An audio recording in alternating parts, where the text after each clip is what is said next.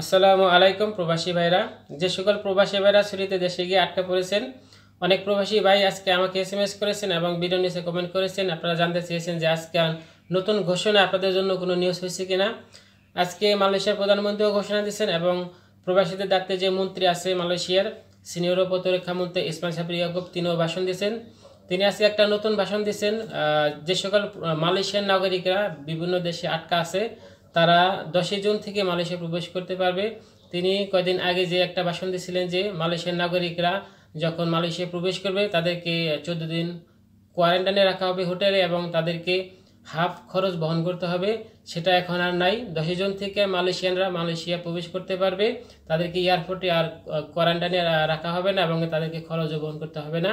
তাদেরকে এয়ারপোর্ট থেকে টেস্ট করব। করোনা টেস্ট করে তাদেরকে আহ, যা যার রুমে যাওয়ার অনুমতি দেবে এবং যদি কাউকে পজিটিভ পায় তাদেরকে চিকিৎসার জন্য হাসপাতালে পাঠাবে। কিন্তু তাদেরকে এয়ারপোর্টে আর কোয়ারেন্টাইনে রাখা হবে না।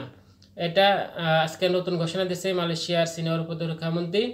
কিন্তু প্রবাসীরা যারা দেশে গিয়ে আটকা পড়েছেন বিভিন্ন দেশের প্রবাসীরা তাদের বিষয়ে তিনি কোনো ঘোষণা দেননি। কিন্তু এটুকু বলেছে যে আমরা আব- এখনও বিদেশিদেরকে মালয়েশিয়া প্রবেশের অনুমতি দিতে দিব না দিতে পারতেছি না।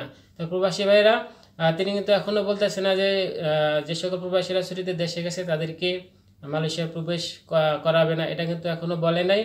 এবং অনেক প্রবাসীরা জানতে চেয়েছেন যে যাদের ভিসার মেয়াদ শেষ তারা কীভাবে মালয়েশিয়া আসবে।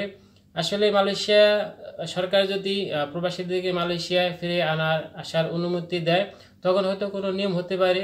যারা লকডাউনের কারণে আটকা পড়ে, ভিসার মেয়াদ শেষ হয়ে গেছে যে সকল প্রবাসীদের, তাদের হয়তো আসার কোনো নিয়ম হলেও হতে পারে। যাই হোক সেটা যখন অনুমতি হবে প্রবাসীদের মালয়েশিয়া প্রবেশের এবং তখন হয়তো কিছু কিছু নিয়ম হবে তখন বলা যাবে যাদের বিষয় ম্যাচ শেষ তারা আসতে পারবে কিনা। আহ, সেই নিয়মটা হয়তো তখনই বলা যাবে। তো প্রবাসী ভাইরা তা আজ আপনাদের জন্য কোনো নিউজ হয়নি যে সকল প্রবাসীরা বাংলাদেশে আটকা আছেন আপনাদের জন্য কোনো নিউজ হয়নি। যখন নিউজ হয় তখন আপনাদেরকে আমি সেই বিষয়গুলো শেয়ার করব। সে পর্যন্ত আপনারা অপেক্ষা করেন ভালো থাকবেন আল্লাহ হাফেজ।